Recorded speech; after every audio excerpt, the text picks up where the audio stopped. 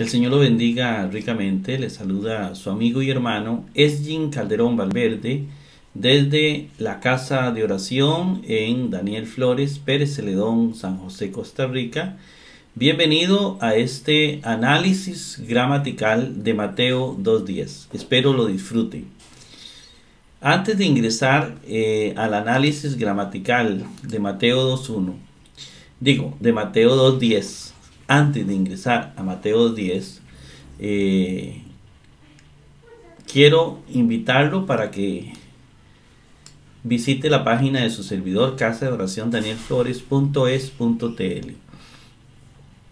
Esta página resume todos los videos que hemos grabado en YouTube y los pone en orden de importancia.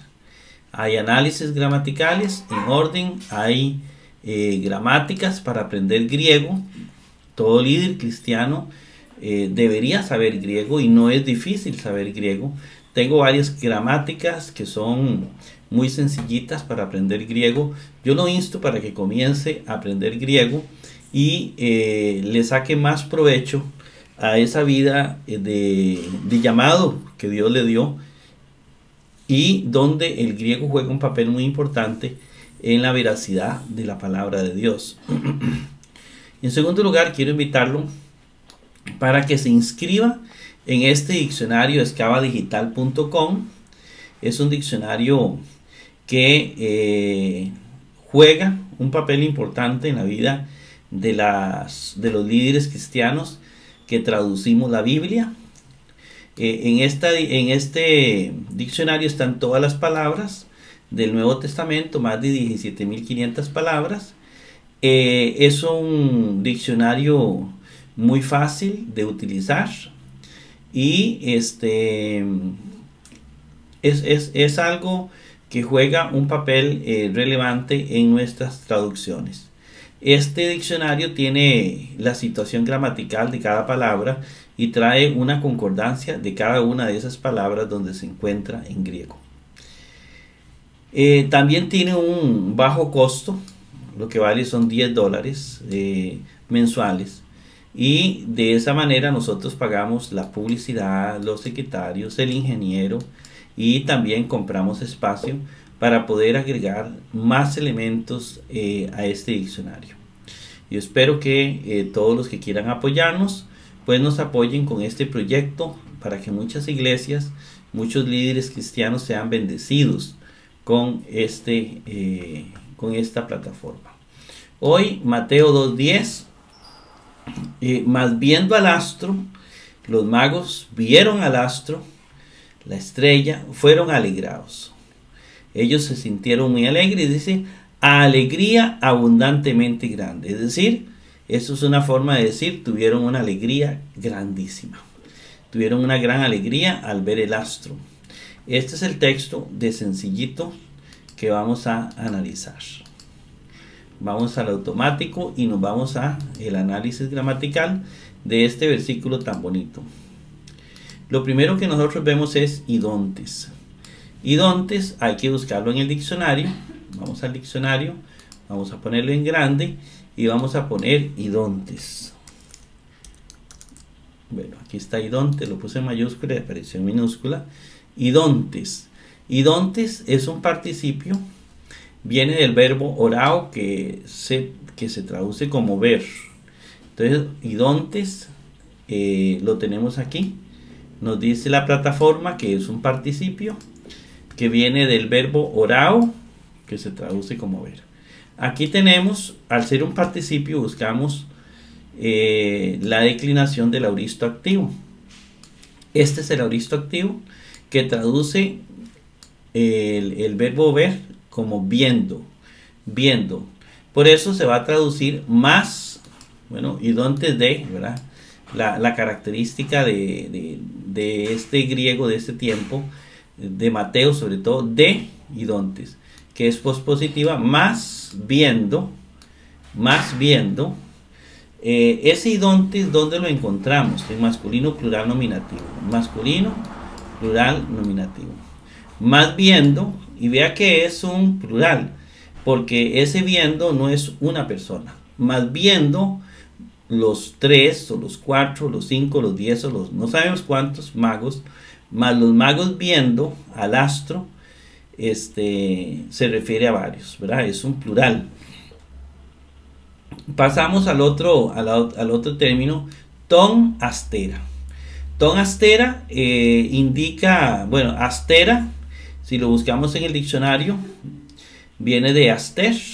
Este es, eh, eh, digámoslo así, esta es la raíz, no estamos hablando de la raíz de las palabras, sino el tema inicial de donde arranca todo, todo el árbol, digámoslo así. Entonces yo le he puesto raíz. Aster, eh, astro, y este aquí tenemos algunas situaciones importantes, ¿verdad? Esta astera. Astera es un sustantivo. Si lo buscamos en el diccionario nos va a decir que es un sustantivo eh, de aster. Eh, ponemos todas las o escribimos todas las, las declinaciones de aster Luego de escribirlas, buscamos astera. Y si buscamos astera, lo vamos a encontrar aquí, En el acusativo. Pero más fácil es si vemos el artículo, ton astera. Me va a decir que es un masculino singular acusativo. Masculino singular acusativo que se traduce como astro al astro, más viendo al astro, ¿verdad? porque es un acusativo, eh, dice la Biblia, ejarizan. Ejarizan, lo buscamos, es parte de un verbo, ejarizan, ejarizan, y aquí está, ejarizan viene del verbo eh, jero o jairo, ¿verdad? Y es un verbo aviso negativo pasivo tercera plural. Entonces, ejarizan como verbo, este significa, y bueno, viene de Jairo, que es pasivo. Este, buscamos el paradigma de Jairo pasivo, que es el que usted tiene en pantalla. Y en el auristo indicativo, auristo indicativo. En el modo indicativo, eh, vamos a encontrar ese verbo y en el tercer plural. Ahí está. ¿Cómo, cómo, cómo se, se, traduce en, el, en la voz pasiva? Bueno, yo fui alegrado, tú fuiste alegrado, él fue alegrado, nosotros fuimos alegrados, vosotros fuisteis alegrados, ellos fueron alegrados. Por eso se traduce fueron alegrados y Harrison. Es decir, se sintieron muy alegres por lo que estaban viendo. Eh, pasamos a un eh, término harán, ¿verdad? Harán, ¿qué harán? Si lo buscamos en el diccionario, vamos a buscarlo un momentito. Harán, ¿verdad? Harán, no, hay que tildarlo. Harán es un eh, sustantivo femenino singular de hará, es femenino, ¿verdad? Entonces tenemos hará, harán dice que es, viene de hará, Buscamos las declinaciones de Hará, aquí las tenemos, se usan solo en el singular. Eh, alegría, alegría, se traduce como alegría. Y este lo tenemos como femenino singular acusativo, ¿verdad? Eh, es una palabra femenina, está en singular, ¿verdad? De hecho, no existen plurales de hará y está en acusativo, ¿verdad? Eh, harán no viene con eh, artículo, pero sí tiene la terminación harán, ¿verdad? Que significa que es acusativo. La terminación an nos dice que es acusativo. Alegría. Fueron alegrados a alegría. Y luego sigue otro término, megalen. Buscamos megalen. Ah, bueno, eh, megalen, no, vamos a buscarlo. Megalen, eh, aquí está. Bueno, pero busquémoslo un momentito. Megalen. Eh, megalen. Y megalen eh, dice que es un adjetivo. Viene de megas. ¿Verdad? Megas. Entonces buscamos en megali. Buscamos megas. Que es un adjetivo. Buscamos todo lo que son las declinaciones de este adjetivo megas. Y megas que está en femenino singular acusativo.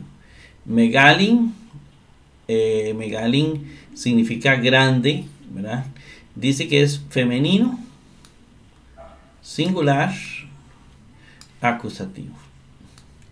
Y lo tenemos por acá. Megalin, lo puede ver usted. ¿verdad? Aquí está. Megalin es eh, grande, grande. Megas, de ahí uno dice tiene 10 megas, 5 megas, etc. Megas es grande. Eh, algo muy importante sobre Megalin es que viene en femenino, femenino. ¿Por qué? ¿Por qué no masculino o neutro? Bueno, porque este se, se refiere al gozo, a la alegría, a Harán. Y Harán es un sustantivo femenino. Entonces tiene que ser femenino. Singular, acusativo, singular, acusativo. Es decir, el adjetivo corresponde con el sustantivo que está calificando. Y entonces es así. Y luego viene la palabrita sfodra. Sfodra es un adverbio que se traduce abundantemente. Lo hemos traducido antes, alegría grande abundantemente, pero lo hemos puesto como si fuera pospositivo en medio en medio eh, de eh, Harán y Megalin. Este, alegría abundantemente grande.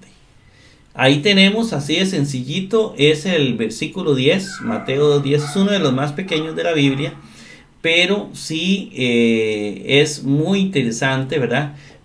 Se enfatiza tal vez en la alegría grande de los magos al ver la estrella porque ellos se guiaban con la estrella para llegar a Cristo. Bien hermanos, espero que este versículo breve haya sido de bendición para su vida y los espero en el versículo 11.